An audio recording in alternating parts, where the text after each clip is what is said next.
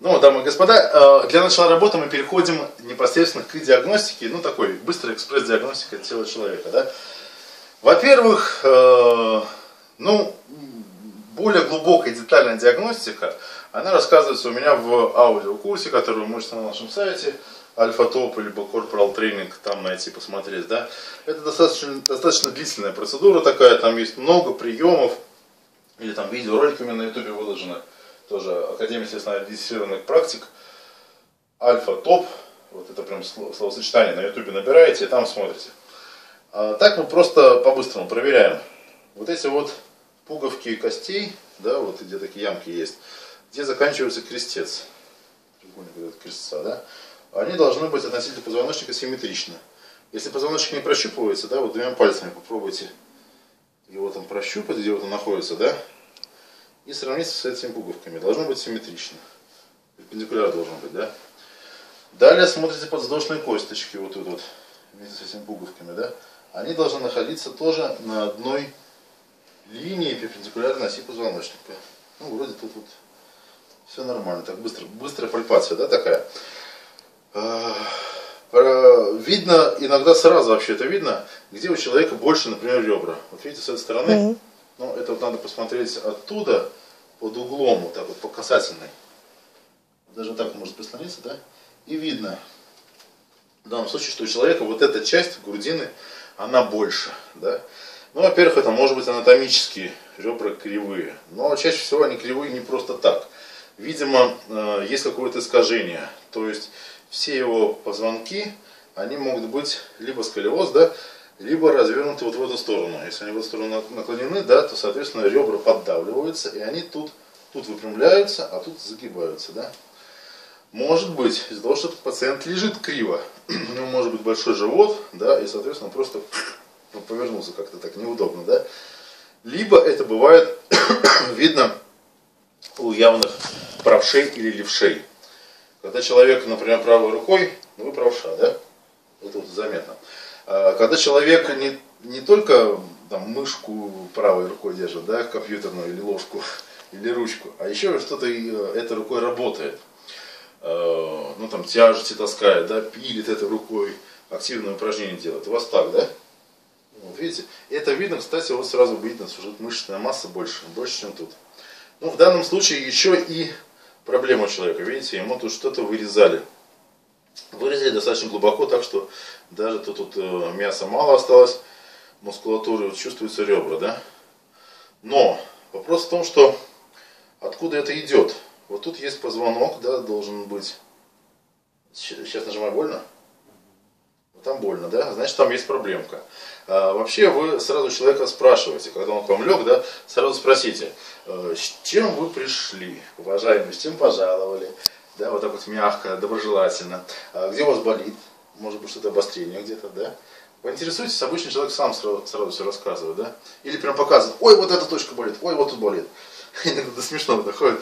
А у меня вот тут болит, так буквально случайно куда-то тыкать, что делать? И таких у меня много-много пациентов. Но важно нам сейчас про спину узнать. Может быть, вы перенапряглись, да? Может быть, вот эти мышцы напряженные, вы их сразу почувствуете руками, а у них консистенция такая будет более напряженная. Человека могло продуть просто-напросто, да? А, почему именно левая сторона? Потому что многие у нас водители. Вы же водитель, да? Вот, э, кстати, вот тут как у вас? Болезненно или нет? Да. А с этой стороны? Меньше, да? Ну, меньше. Вот, немножко меньше, да? Но не сильно, значит, продуло. Но проблема в том, что если даже человек, э, ну, за рулем открывает в жару э, форточку, да, дует всегда вот в эту сторону. Mm. Именно шея, да, прям схватывает так, что жесткие вот эти мышцы сразу может проверить и сразу спросить, а здесь вот видите, тут не жесткие, значит вам, вы, вы как бы, как, как знаете, как э, гадалка говорите, о, да вас продуло в машине, наверное, с открытой форточкой ездите. Да, да, ты откуда знаешь? Мы все знаем. Как эффект ванги такой, да? Сразу проверили, сразу узнал, что мы правша, например, да? А вы правша? Да, ты прям все про меня рассказываешь. Мы читаем спину как некоторую карту, да? Ну, поподробнее про карту мы еще поподроб... потом расскажем. А сейчас вот э, такая первичная, да, диагностика. Далее смотрите, если даже форочка закрыта, человек включает кондиционер в машине. от стекла, вот тут находится стекло дверное, да, отражается воздух холодный и дует вот сюда за спину. Вот сюда, да. Так что могут быть спазмы вот здесь. Вот так прям прощупываете и говорите, больно, да, вот тут. Вот тут больно. Ну, и он вам ответит. Ну, тут, э, как быстро определить? Все мышцы вообще всего тела человека должны быть одинаковой консистенции, такой, такой тягучий, такой пластичный, да. А если где-то блок, спазм или там какая-то блокада, да, они напряжены. И вы сразу такой идете пальчиком, да, о, ну их даже видно, также вот можете так раз показательно посмотреть. Иногда прям вот такой вот валик выпирает мышца, да, или вот, прям такой вот валик. Это видно, это же так, так все просто. И вы сразу человеку говорите, о, вот тут у вас спазм, вот тут напряжение сейчас будем убирать, вот здесь тоже напряжение будем убирать. Да? Далее. Проверяем весь позвоночник. Ну, что такое сколиоз, вы знаете, да? Сколиоз это когда идет движение вот, вот в этой плоскости. Сагитальная или латеральная плоскость. Вот так вот, да? Вот такое искривление, ну, обычно грудной отдел. Чаще всего. Это сколиоз. Причем он обычно э, с доворотом. То есть э, сами позвонки ротируются.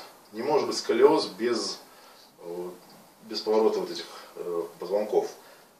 Э, поэтому, поэтому, кстати, ребра будут разной, разной величины. Да? Э, вот сейчас мы проверим. Может быть, у него ребра не поэтому выше. Для этого положите симметрично пациента, да? обе руки одинаково. И сразу проверяем по горизонтали. Вот. Вот эти лопатчики, посмотрите, отсюда,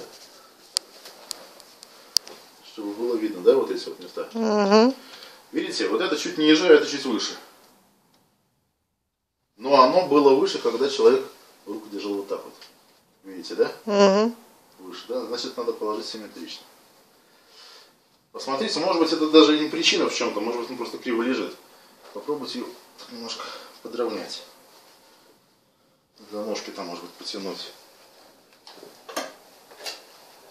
И еще раз смотрим. Вот смотрите. Видите, еще выровнялся. Угу. То есть проблема убирается достаточно быстро. Сразу говорится человеку, я вам выровнял ребра. Но на самом деле это не до конца, это я пошутил. Они, вот тут видно, что они выпирают, вот они. Да? А здесь они более гладкие. Тогда проверяем сам позвоночник. Устанавливаем два пальца и смотрим вдоль всей позвоночной, всего позвоночного столба, где есть искажения. В данном случае искажений практически нету. Ну, Может вам видно, да? Что все-таки пальцы мои прошли ровно. Значит, возможно, эти ребра это анатомическая особенность э, самого человека. Может быть, там у него легкое увеличено из детства что-то, или травма была. Можно спросить. Ну, редко люди это помнят. У вас были травмы в детстве, Андрей? Не было, да? Вот. Ну, в данном случае не было. Но это, тогда это не важно, не обращайте внимания. Но, проводя вот так вот пальцами, вы делаете еще одну диагностику. Вы смотрите, где есть какие-нибудь сдвиги у самих позвонков.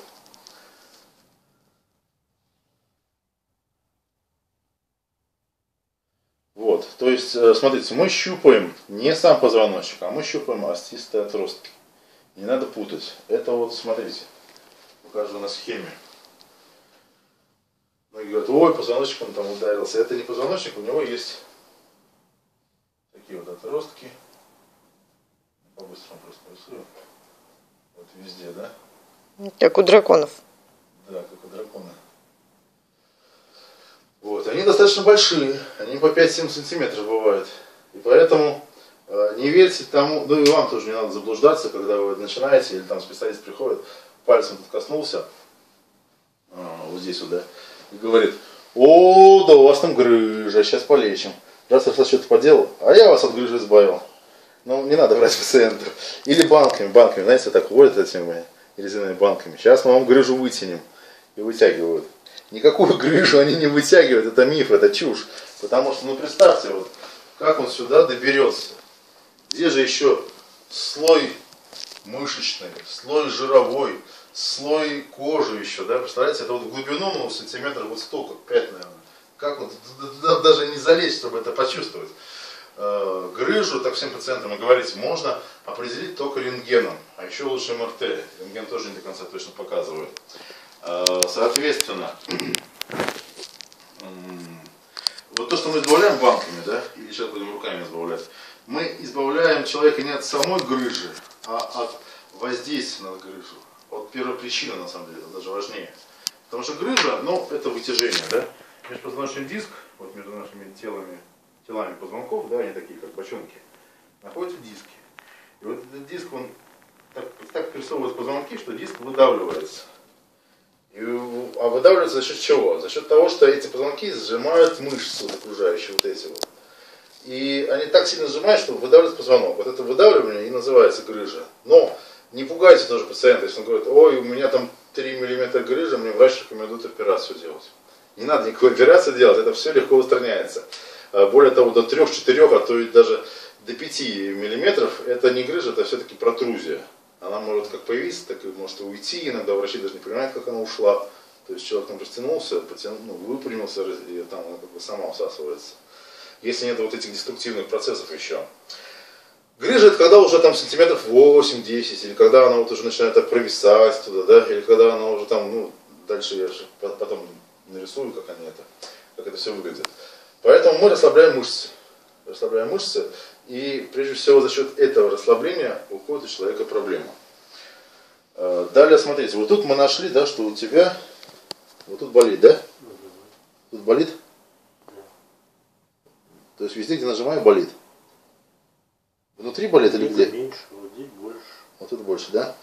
Вот, кстати, да, если э, идет поясничная грыжа, то можно ее легко проверить э, вот так нажатием. Так нажимаю, внутри болит? Да нет. Нет, да? То есть мы можем, как специалисты, только предположить, вероятно, у вас есть грыжа, вам лучше пойти МРТ сделать, да? Мгм. Или предположить, у вас нет никакой грыжи, все нормально. Потому что болезненность отражается там внутри. По- Ну вы по бокам от остистого отростка, да, вот а, нажимаете? Нет, в данном случае я прямо на остеотрост нажимаю. Мгм. На тело позвонка, чтобы понять. Мгм. Нигде болевых таких нету синдромов, да? Что-то мне в ребра отдало. Откуда? Вот, отдало. Так, лежите, лежите. Это может быть э, немножко другое. Э, Во-первых, он мог замер- замерзнуть, пока мы лежали, да? Вот отсюда отдало, да? Да, вот во-вторых, мы видим, что позвонок немножко ушел вну- вну- внутрь. Потом он ушел вот здесь внутрь. Тут больно, да? Нет? Вот. Это мы проверяем остистые отростки, и по ним мы только можем предсказать, что куда попало. Вот, э, во-первых, они вот так вот расположены ну, по спине, да? И они должны быть на одной оси. Вот Так видите? Мгм. Как Буратино так пальцы делаете. Вот они примерно вот так смогут быть в дисбалансе, да? А, ух ты. Соответственно, да. Если отросток идет так, то тело позвонка вот тут вот находится, да? Мгм. Оно развернулось. Мы поворачиваем его вот так. Должны повернуть. Понимаете, да? Вот этим пальцем. О, ага. Видно, да? Да. Вот такой, как, как ключик, это как, как для нас как ключики. Либо остистый позвонок может, ну, как сказать, вот так вот, да, два позвонка находятся Мгм. друг к другу. Вот это как бы тело позвонка.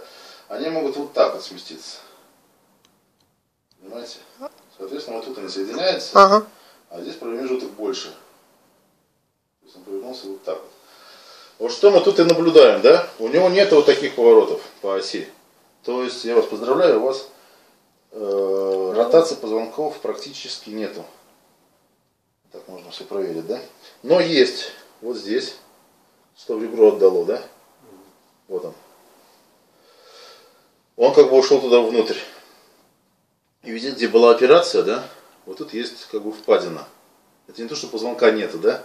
А если проверить поближе, да, он вот сюда ушел, ближе. Это что получилось? Это получилось, что у нас один из позвонков, например, вот этот,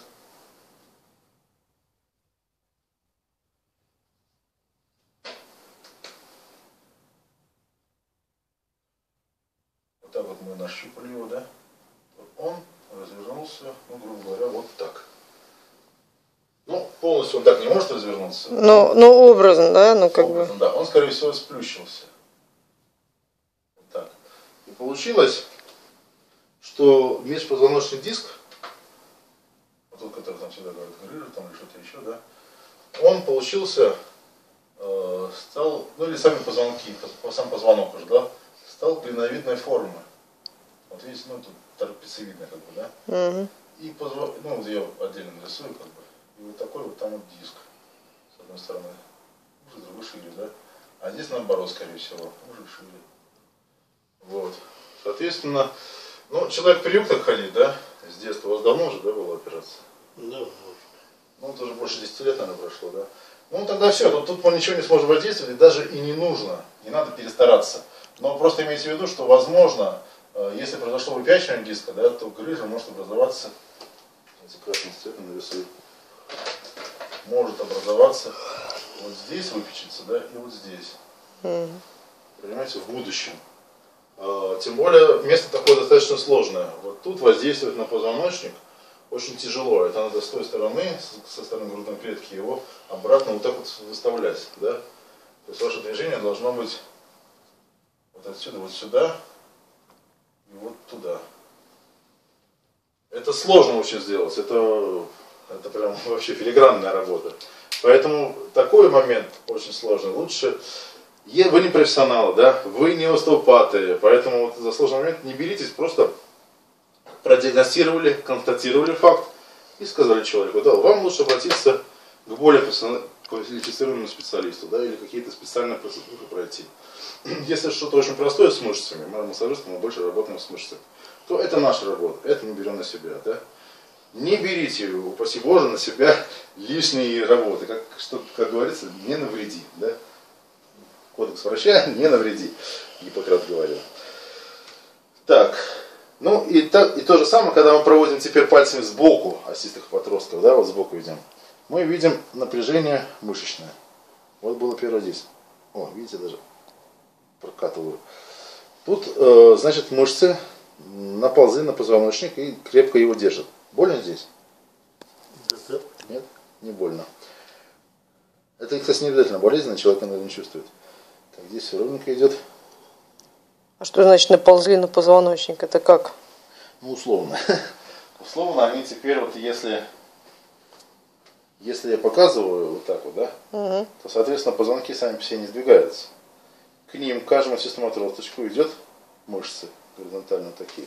Значит, здесь мышцы, вот я вам показываю, да, вот они вот так вот шли. Мгм. Значит, здесь мышца напряжена, она тянет его сюда. А с этой стороны расслаблена. Также и наоборот. А. Тут напряжена, а тут расслаблена. И вот это напряжение, его, оно как толщина с пальчик, вот его можно прям прощупать. То есть вот, Ага. вот этот вот пальчик, мы прямо раз ощупали здесь, вот, например, напряжение вот это, да? Его мы и будем убирать. Оно иногда тянется там под углом, касательные такие мышцы есть, а, тангенциальные всякие. Вот так вот лопатки идут. То есть это все можно прощупать и, и как бы мы для себя понимаем, с чем дальше будем работать. Вот. Так, ну и также можно и шею проверить. Ну, на этом быстрая такая диагностика, да, вообще это все я рассказываю долго, а все это делается, ну, там, одна-две минуты буквально, раз, раз, раз, проверили человека, да, сказали ему, тут, тут, тут проблема, тут, сейчас будем все решать. А иногда бывают эти валики мышц, да, вот они прям реально наползают на позвоночник. Я прям продемонстрирую вот так вот, да. Так Да. что нету просвета позвоночника, что он, ну, я просто как для иллюстрации. Да, да, да, да. Для иллюстрации покажу. Бывает так, что вы даже позвоночник не можете прощупать внутри, да? А не позвоночник, а вот эти остистые отростки не можете прощупать. Тогда это вам сигнал. Мышцы так его сдавливают, вот так вот они заворачивают как бы позвоночник внутрь, да? А, Это как бы, а, значит, тут есть проблема. Организм страхуется. Он думает, что он нагнетает сюда массу, или вот тут бывает вот такая масса прям жировая, да? Он думает, что он э, бережет свой позвоночник. А на самом деле это ли- излишняя масса, она оказывает давление и только делает хуже. Она может как бы вот с, этой стороны же давление идет, да? Мгм. Так сдавить, что какие-то позвонки туда начнут внутрь уходить. Впереди человека. Поэтому наша задача массажиста будет отодвинуть это к периферии, от центра к периферии мы сейчас будем делать все движения. Понятно? Вот. Ну и также вот эти вот микроспазмы, которые вот идут, да, мы тоже их от центра к периферии будем убирать пальчиками, проходить так глубоко достаточно. Вот, это вот наша сейчас работа будет со спиной. Поэтому к ней мы перейдем в следующем видеоролике, а пока запомните вот эту короткую диагностику, про которую я вам рассказал.